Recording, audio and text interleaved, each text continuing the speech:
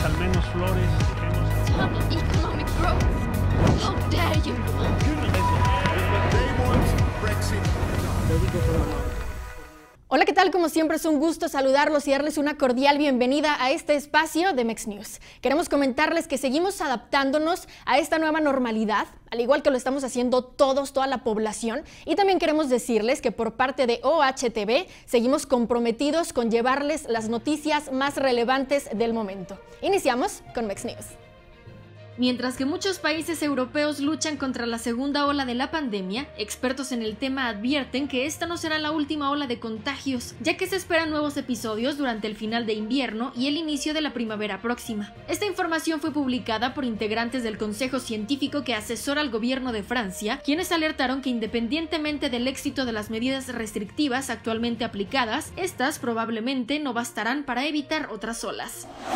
Al fin se dio a conocer una posible fecha sobre la distribución de la vacuna contra el COVID-19. Se cree que podría estar en fase avanzada a finales de marzo de 2021, según estimó la empresa farmacéutica AstraZeneca. Esta información fue dada a conocer por el director del área de investigación y desarrollo de oncología AstraZeneca, Joseph Baselga, quien calcula que a principios de 2021 la farmacéutica tendrá unos 3 mil millones de vacunas y confía en que se verifique su efectividad. Añadió que lo complicado será diseñar cómo repartirlas, dada la demanda que existirá, por lo que Balsega estima que hasta finales del primer trimestre de 2021 las vacunas, en caso de ser aprobadas, estarían en fase inicial de el tifón Goni se ha convertido en una amenaza natural gigantesca en su paso por Filipinas, donde ha ocasionado ya 16 víctimas mortales, además de severas afectaciones en muchos hogares. Según indicó el Centro de Previsión Meteorológica de Vietnam, Goni avanza con vientos tan rápidos que posiblemente gane fuerza antes de su llegada a la costa vietnamita, prevista para el próximo jueves. Ante el tifón descrito por los meteorólogos como el más fuerte del año, Richard Gordon, presidente de la Cruz Roja Filipina, se declaró horrorizado por la devastación causada por el temporal en estas regiones.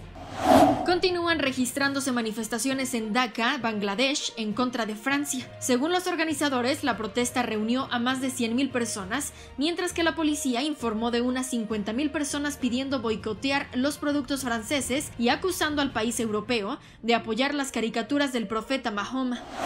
Si todos están comprometidos con boicotear los productos franceses, la economía del país se acabará. Si se detiene la economía nos rogarán y no se atreverán a iniciar una guerra contra nosotros. La yihad más importante para los musulmanes indonesios es la económica. La situación en Italia respecto a la pandemia no es nada alentadora. Mientras que las autoridades han impuesto nuevas medidas restrictivas para combatir la pandemia, el sector salud sigue tratando de combatir la problemática de manera directa, con más y más enfermos en los hospitales. Por ello, las enfermeras juegan un papel muy importante ya que deben trabajar más allá de sus turnos para atender casos de COVID-19.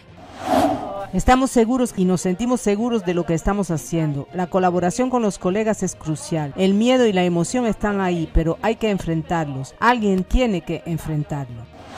Y bien, con esto concluimos. Muchísimas gracias por habernos acompañado aquí en Mex News.